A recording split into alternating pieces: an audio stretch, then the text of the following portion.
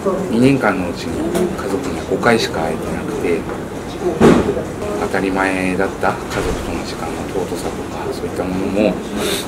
い、感じたのでやはり一緒に住みたいよなって思ったことはあってでもう一度この町ににぎわいを取り戻したい。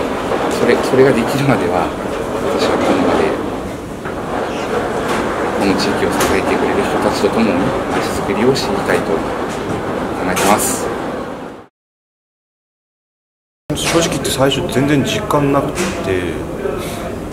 ニュースでやってるけどそれがあ自分の街がああなってるんだなっていうのは頭では分かるんです。なんか感覚としてあんまりこうしっくりこなくて、まあ、自分のふるさとのためになんかできる、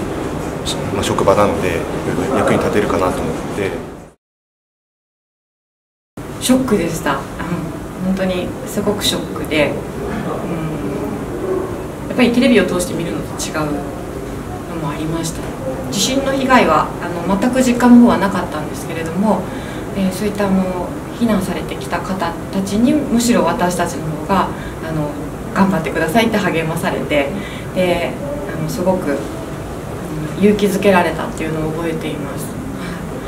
楽しいですよ。本当に浪江に来てよかったってすごい思います。6年経って、まあ、原発事故ともまあなんでしょう。吹っ切れたわけではないですけど50年以上は福島県なのでそこを離れる理由はない、まあ、地震も大きかったから地震の日があったけど津波までは想定してないのが自分たちも想定してないことが起きてるんでそれは今更なんていうの？恨んでもみたいなそれはあるんですねホームグラウンドっていうかホームタウンの感じはまあ形は違ってもあるので。